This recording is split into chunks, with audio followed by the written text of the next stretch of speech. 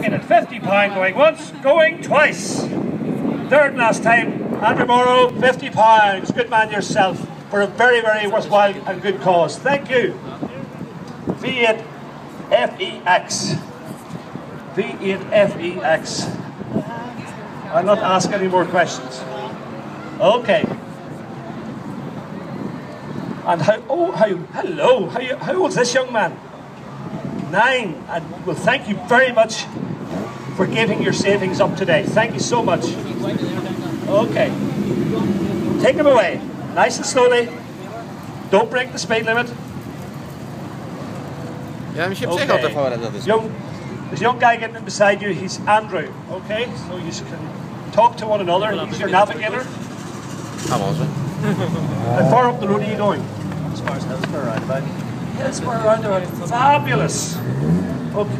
We go round the roundabout nice and easy, and then accelerate to 60 or 59 as fast as you can. Okay. All right, Andrew. Clunk, click every trip. Always put your seatbelt on. First thing you do, never ever be a passenger or a driver without the seatbelts on.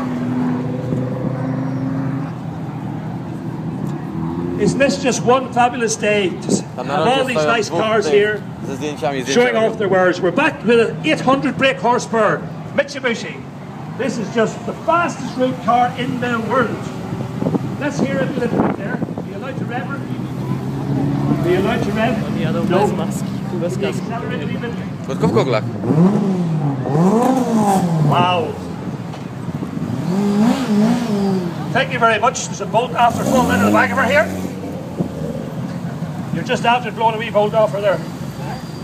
That's the power, the energy.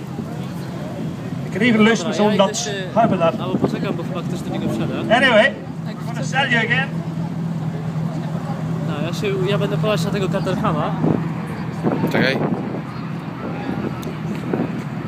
For those who've just arrived, this is not the 60 in 2.5 seconds. It has won the Ultimate Street Car of the Year in Santa Pod, Santa Pod Raceway. Wow, what a what a bit of history with this car. Turbo four-wheel.